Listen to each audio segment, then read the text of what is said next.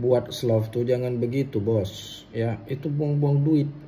Ya fungsinya tidak didapat secara optimal.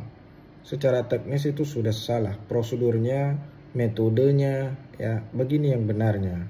Ikuti saja.